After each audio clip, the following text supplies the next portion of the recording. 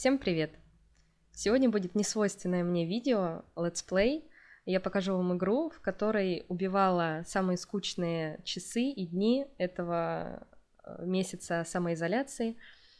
И не только.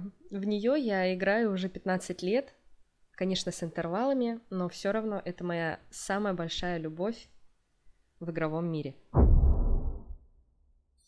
Первый Sims. Я играю в э, The Sims Complete Collection.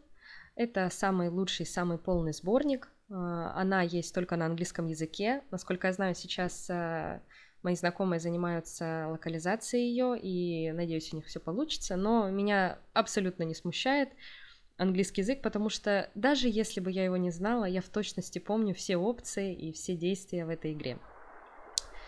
Это всеми, всем нам известная старая карта стандартная, карта старого городка, э, эти семьи, в которые заходишь в детстве и начинаешь игру, знакомишься с миром.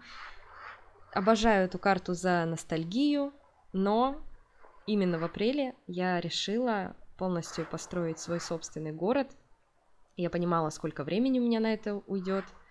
И я открыла второе соседство, вычистила его и начала оформлять своими домами. Ах, как же я все это люблю. Я не знаю, мне даже слов не хватает, чтобы описать. Вот серьезно. А сейчас я буду показывать вам, проводить э, некоторую экскурсию потому что я построила, что я сделала. Ну и параллельно буду рассказывать, почему именно первые Симсы, что я у них так люблю, и как так у меня, у взрослой, можно сказать, женщины есть время на то, чтобы играть.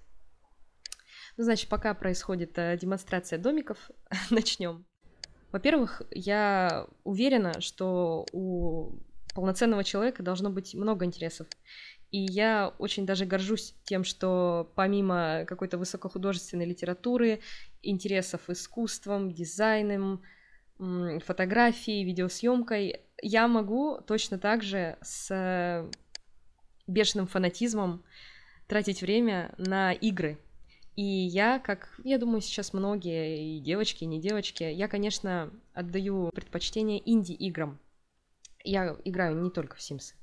А, вот. И мне нравится, что, наверное, года с 2010 у меня началось вот это ощущение, что первый Sims, он как раз-таки смотрится как современная инди-игра. Э, игра про нулевые. Это вот здесь же вот эти стационарные телефоны, эти старые компьютеры огромные, здесь люди проводят время свободное так, как сейчас не проводит никто. Ну, то есть это действительно игра 20-летней давности, и из-за этого ты и окунаешься в тот мир э, своего детства, вот этого времени, когда ты был маленьким. И дело не только в том, что ты в нее играл, когда был маленьким, дело вот во всех этих атрибутах. Вот. И это чувство ностальгии, оно очень меня заражает и положительными эмоциями и вдохновляет. У меня по- могут появиться идеи для творчества, для рисования, идеи для фотографий. Я не знаю. Я вот очень э, именно Симсы люблю за то, что не каждый фильм, не каждый сериал может мне дать э, вот такой э, прилив и приток э, вообще положительных э, и добрых эмоций. Я не помню, в каком классе я познакомилась с этой игрой. А, ну, мне кажется, по ощущениям, это был, наверное, 2002-2003 год. А, вот я 93-го года рождения, соответственно, делаем вывод, 10 лет, третий класс. А, точно помню, что у всех девочек она была, мы ходили друг к другу в гости, подглядывали идеи для строительства и вообще жизни персонажей, там, рассказывали, какие есть фишки, взаимодействия, потом уже выходили доп- э, дополнения, вот этот магический город и так далее, и так далее. Было очень интересно. А, также помню сами диски, что э, компьютер у меня был хоть и мощный, но что-то то ли диски были вирусные, потому что пиратские, но каждый раз установка Симсов была огромной проблемой. И пока я ждала, э, когда они поставятся на компьютер, я могла... Это занимало несколько часов. То есть игра, которая весила 500 мегабайт, ставилась на комп несколько часов. И за это время я просто изучала каждую, каждый миллиметр э, на диске в оформлении диска, рассматривала те скриншоты, на каждом диске было по три скриншота вообще игровых дисках, вот, рассматривала, что там как расположено, что они делают, представляла, как окунаюсь в этот мир. Sims э, мне э, дали то, что когда-то давали, давала Барби. вот эта вот э, жизнь, домик, быт, рутина, очень классно. И уже тогда, наверное, да, у меня был такой очень бешеный к этому ко всему интерес.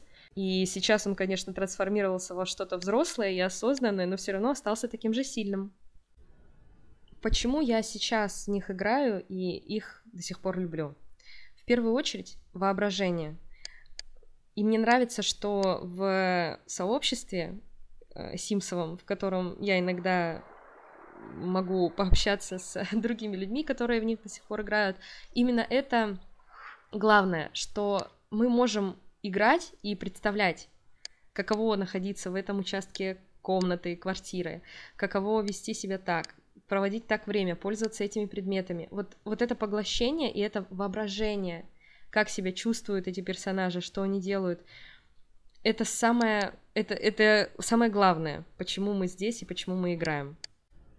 Честно, считаю, что многие современные игры, они этого не дают. А сейчас э, игры производятся таким образом, чтобы они были скорее фильмами. То есть там нет места воображению, а здесь есть.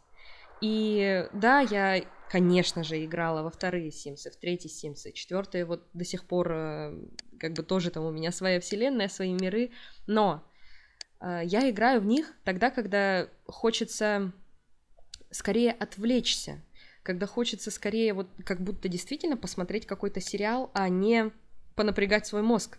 А вот если я хочу ставить своему мозгу какие-то задачи, развивать фантазию, включать воображение, то только старые игры и только первые Симсы.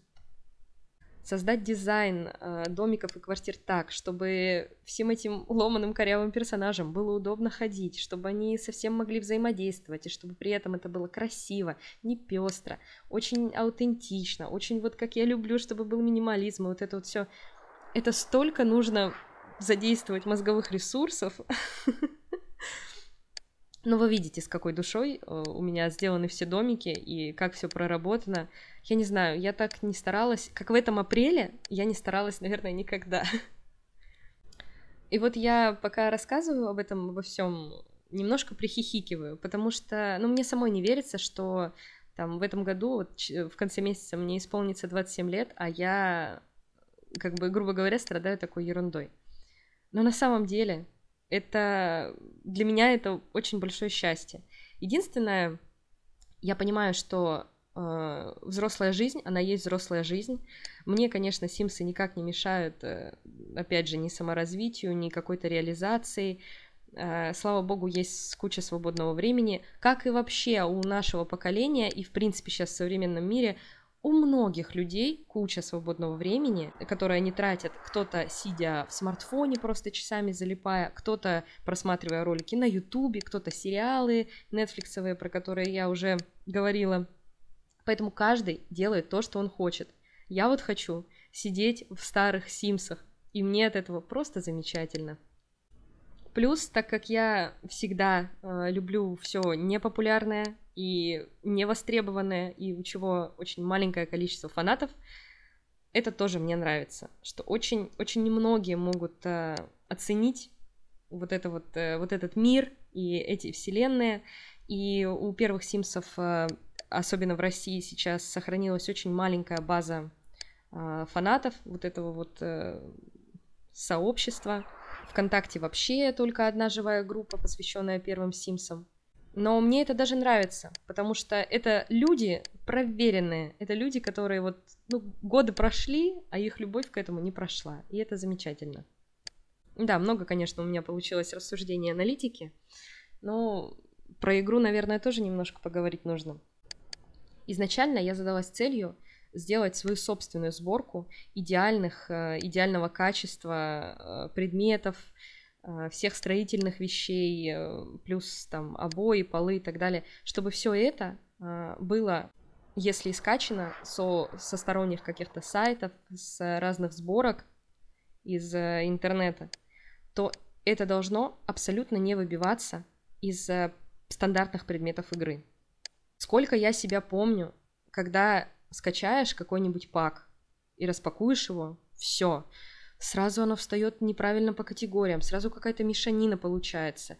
Листаешь эти обои как сумасшедший, не можешь долистать до нужных, до красивых, и все. И э, большую часть времени в апреле у меня заняла вот эта сортировка. Я, конечно, любитель все систематизировать и каталогизировать, но это было действительно очень утомительно, э, и у меня все получилось, и я очень довольна. Если, если это заинтересует кого-нибудь, я обязательно всем поделюсь. Вот прямо честно. Потому что я это делала с э, упором на то, чтобы всем от этого было хорошо, не только мне. Я в этом плане не жадный человек.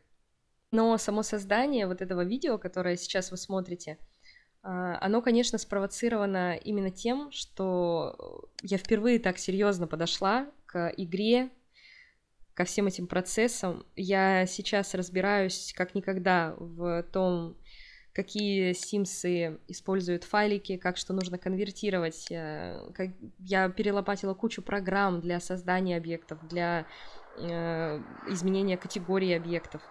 И вот этот новый уровень профессионализма в, в гейминге, в первый Sims, он и дал толчок тому, что ну все, ну пора, пора снять какое-то видео, первый в моей жизни летсплей, чтобы доказать себе и не только себе, что я могу и что я профи. Ну, собственно, под мою болтовню э, я показала практически всю свою карту. Вот. У меня э, подразумевается три общественных э, лота. Парк с фонтанами, цветами, ну, такой стандартный достаточно. А, потом один большой гипермаркет, супермаркет, а, скорее даже аллея. А, и вот еще один лот на 4 квадрата разделенный, я не знаю, что там сделать. Вот, пока у меня в городе живет только одна семья, стандартная э, хик, по-моему. Э, вот, они такие бедные, живут типа в трейлере. Я специально стилизировала это все в такой дом на колесах. Ну, посмотрим, посмотрим. Это будет вот действительно реально самый бедный домик во всем городе. А, в целом, кстати, хочу еще рассказать про то, как я играю. А, Все зависит от э, сценария, который я хочу проработать и в который я хочу поиграть. В принципе, всегда интересней, когда заранее знаешь, что создаешь э, музыкантов или тех же волшебниц, или просто стандартную семью с ребенком, которые будут с работы на работу домой, вот это вот все, или любители вечеринок, то есть проживать те жизни, которых нет у тебя, это самое интересное всегда, и заранее их придумывать. Но также мне нравится иногда, когда все просто идет своим чередом, то есть заходишь, что-то рандомное создаешь и наслаждаешься потом этим. Вот. А, насчет э, денег. Подниматься из бедности с этой двадцаточкой симлеонов, э, с двадцатью тысячами симлеонов, которые стандартно дает игра, это, конечно, вообще кошмар, потому что этот ужасный душ, ужасный холодильник. Нет, спасибо, этого хватает, я думаю, многим в реальной жизни. Я предпочитаю такой упитанный средний класс, когда, в принципе, все есть, когда можно подкинуть 10 тысяч или 20 а, кодами и наслаждаться уже как-то наращиванием капитала и ходить на работу в удовольствие, а не чтобы выжить. Вот. А, вот такая методика, в принципе, игры. А, также мне понравилась идея, что в четвертых Симсах есть э, лот пустой полностью и самый дешевый, который называется «Из ниоткуда в никуда». И я тоже здесь, на этой карте, создала нечто подобное, чтобы вот после создания семьи заселять их туда, прописывать коды, и поехали-погнали. Вот, в целом, ни при строительстве я никак, никакими кодами не пользовалась, ну, стандартный там Move Objects On, просто чтобы было удобней переместить почтовый ящик. Но это уже примочки для таких же симоводов, как я. В принципе, все. Рассказала, наверное, все. Я не знаю. Будет очень здорово, если кто-нибудь если вы напишете, что разделяете мой восторг по этой игре, или просто по старым играм, или поделитесь тем, а на, на что вы тратите э, часы своей жизни и вообще свое время, вот когда, когда скучно и когда хочется действительно чем-то занять свой мозг, чем-то интересным, э, и чтобы воображение работало. Вот. Ну и в конце ускоренная стройка еще одного домика — Надеюсь, вам было хоть немного интересно. Спасибо, что посмотрели. Всем пока! thank you